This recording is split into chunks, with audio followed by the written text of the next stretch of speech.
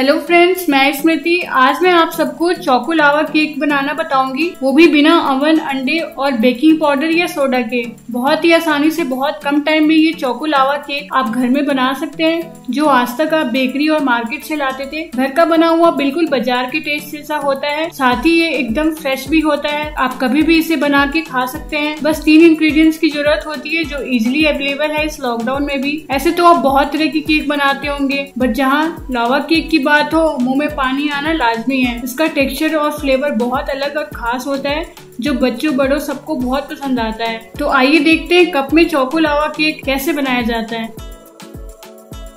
चौको lava cake बनाने के लिए देखिए मैंने यहाँ पे एक पतीले में थोड़ा पानी रखा है और इसके ऊपर मैं एक बाउल डाल दूँगी।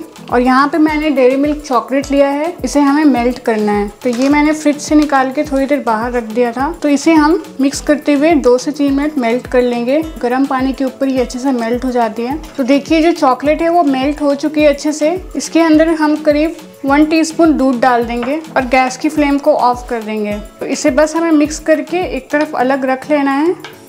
मैंने जो है यहाँ पे बिस्किट लिए, क्रीम बिस्किट, आप कोई सा भी बिस्किट ले सकते हैं। जैसे कि हाइड एंड सीक हो गया बॉर्बन हो गया ओरियो हो गया, इस तरह की आप कोई सी भी बिस्किट ले सकते हैं चौको लावा केक बनाने के लिए। इसको हम ऐसे टुकड़ों में तोड़ के एक मिक्सर जार में डाल लेंगे और इसे ग्राइंड कर लेंगे। तो ये मैंने करीब 10 से 15 बिस्किट लिए हैं। और मैं आपको दो कप में चॉकलेट लावा केक बता रही हूँ। तो इतना इनफ होता है दो कप के लिए। अब हम इसको ग्राइंड कर लेंगे। तो यहाँ मैंने बिस्किट्स को पाउडर फॉर्म में रेडी कर लिया है। अब हमें इसके अंदर दूध डालना है। तो बिल्कुल हाफ़ कप दूध डालना है आपको, ज़्यादा नहीं डालना है। और इसको अच्छे से मिक्स कर ले। ये केक बैटर की तरह हमें इसको तैयार कर लेना है। तो देखिए, दो मिनट मैंने इसको अच्छे से मिक्स कर लिया है ताकि इसमें कोई भी लम्ब ना रहे। चौको लावा केक बनाने के लिए मैंने यहाँ पे दो कप लिए हैं। इसमें हम आज कप में ही इसे बेक करेंगे। ये जो मैंने बिस्किट और दूध का बैटर बनाया है, इसको हम कप के अंदर डाल लेते हैं। तो कप को मैंने थोड़ा सा ऑयल से ग्रीस कर लिया था और इसको बिल्कुल ऊपर तक ना फील करें। तो ये मैंने दोनों कप्स में डाल दिया है बैटर इसको थोड़ा सा टैप कर दें। और ये जो हमने डेयरी मिल्क को मेल्ट किया था, दूध डाल के थोड़ा, इसको हम इसके बीच में डाल देंगे। ऐसे बस एक गोला बना के आपको इसके सेंटर में से डाल लेना है। तो देखिए, ये दोनों कप हमारे रेडी है बेक होने के लिए। तो बेक करने के लिए मैंने यहाँ पे एक कुकर को गर्म करके रखा हुआ है। इसके ऊपर मैंने एक स्टैंड रख लिया है और इसके अंदर हम दोनों कप्स को प्लेस कर देंगे। तो आप भी कोई इस तरह का स्टैंड ले लें, जो भी आपके पास अवेलेबल हो। और इसे क्लोज कर देंगे। तो देखिए, मैंने कुकर का ढक्कन लगा दिया है और मैंने इसको लो फ्लेम पे रखा है।